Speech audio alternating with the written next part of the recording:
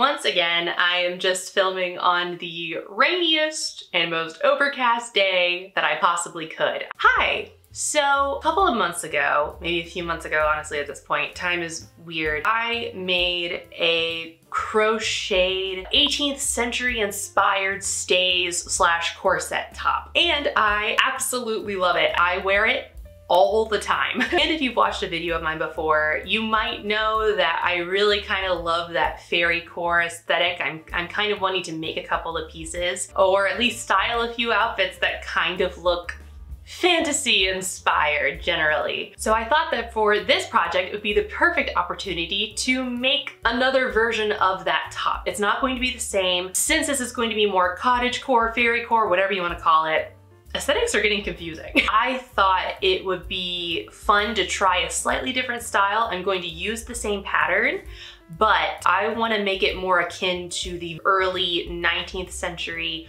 short stays, which had bust cups in them to start to give a little bit more shape to the upper body rather than just like one piece that went down the entire length. So I thought that'd be fun to try out with this one, using that same pattern and kind of changing it. I have a ton of green yarn left over from my plant projects. It's not a green I particularly love. I thought I was only buying one skein of it. Turns out they sent me four skeins. So I have a lot left over and I'm gonna try to make myself like this color.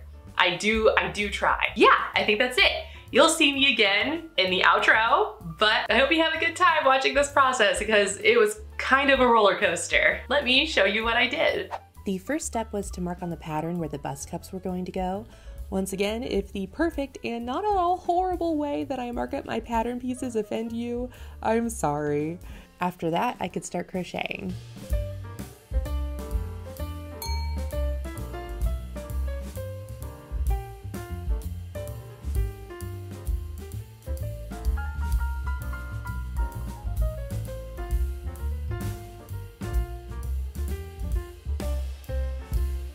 Just to let you know, my dog likes to sit right under my tripod. Do I know why? No. He's the cutest enigma in the world. Yes, he is. Is that a spider? No. Whew. So um, over the weekend, I showed my mom what I was currently working on, and the first thing she said with zero hesitation was Regency Kermit. I just wanna let you know at this point because I've said several comments that my mom has made about the stuff I'm currently making. She is the most supportive person in my life. She's just also one of the funniest people I know and I can't say I disagree with her on this one. so this one took some brain power, but I'm going to try my best to explain what I did. I have notes.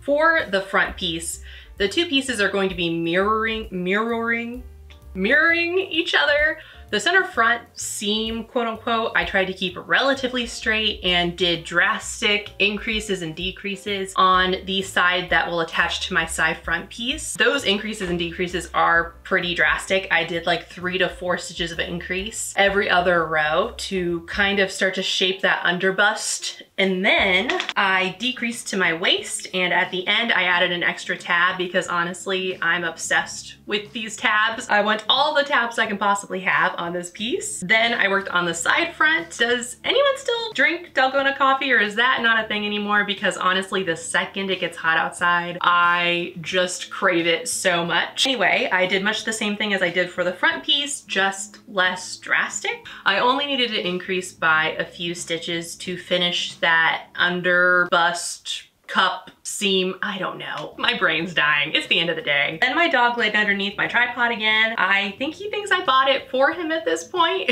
then I decreased in the middle so that both sides would decrease evenly. That's kind of what I figured out is that if you want it to curve on one side, you decrease or increase on that side. And if you want both sides to increase or decrease equally, you put the increases and decreases in the middle. Is that the right way to do it? Who's to say? Not me. Probably a lot of people know better than I do. And then I did two tabs that slanted because that's what the pattern piece looked like. And the back is relatively similar, just it's all decreases in the center because there's no real curve to it. And then the two tabs aren't slanted either. So it's, it's a pretty simple piece. Before I start making the back pieces, I want to go ahead and put these pieces together for two reasons. First off, I wanna make sure that my cups are going to look right because I just did that very professional way of marking the cup out. And uh, I just want to double check my work. It could also be easier for me to gauge what the cup should look like when it's partially together. And then second of all, I think a couple of these pieces that I made are a little bigger than the pattern pieces. And so I just want to accommodate that on the back pieces before I start making them. So let me put the pieces together.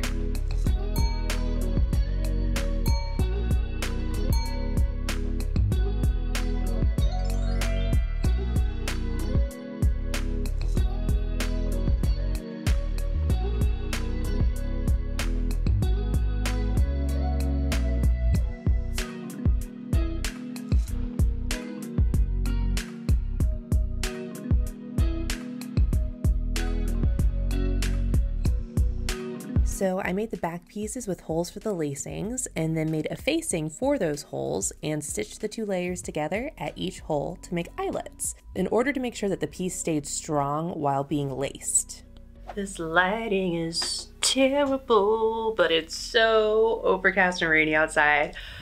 This is the best you're gonna get today. Now that the back is almost done, I went ahead and moved on to the portion for my tatas. So I thought what I could do is make two triangles, put those triangles together to make an almost semicircle. Not that this shows anything close to what it's supposed to look like.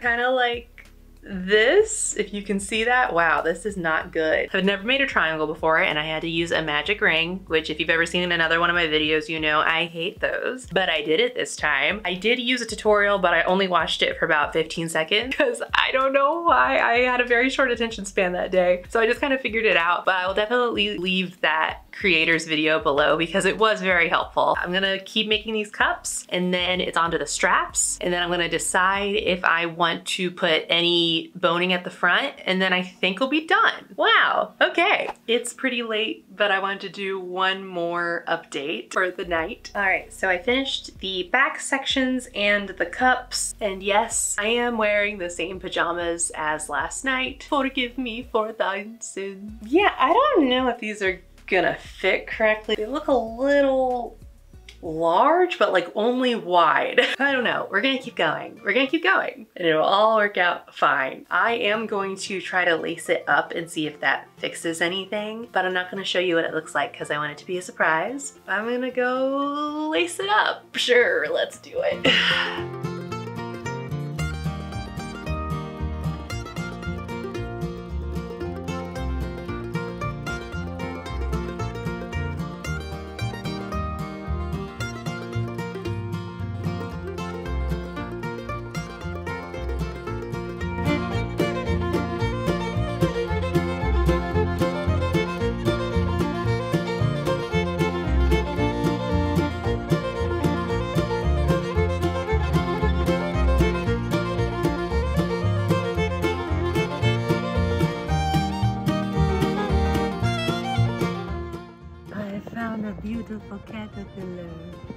It's so beautiful.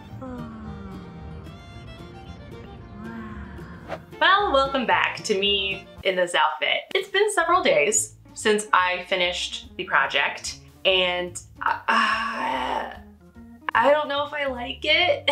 I don't know. It's just a, a, lot, a lot happened. First off, I don't love the color. I thought that once it was like a completed thing, I would change my mind.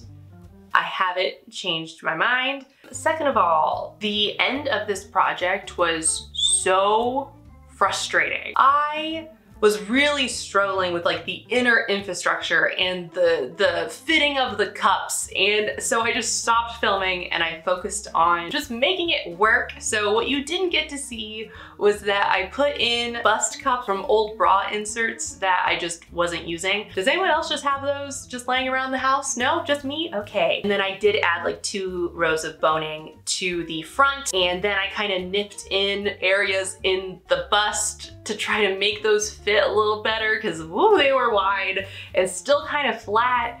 I don't know. when I started this project, I knew that I wanted to eventually embroider on this corset top. I've heard that you can embroider on crochet. I've just never done it before. So what I think I'm going to do in a future video that is not now or like any of the next videos, probably within the next few months I'll get to this. I just kind of need a break. But when I do, I think I'm going to dye it a darker color to try to, first of all, just to get myself to like it better. And second of all, I think it might hide some of my mistakes. And then second of all, I will try to embroider on top of it as well. Hopefully those two things will make me like it better. But right now I just need a break from it. I need to like step back and ruminate. Oh, I don't hate this project. I don't. I'm just not in love with it. That's always frustrating. There was a point in this video where I did not think I was going to have a video, but I do. It turned into something. It is something. Sorry to leave you on this kind of downer of a note, but um, you know what? Sometimes when you craft and make things, it doesn't always work out. And I think it's something that we should normalize that you're not gonna be perfect and some of the things you make you're not gonna like and that's okay because you're not a perfect human being these are reminders for myself because i'm i'm having I'm, it's yeah. But anyway i hope you had a good time watching this video. Like and subscribe and i hope to see you back here next time. Bye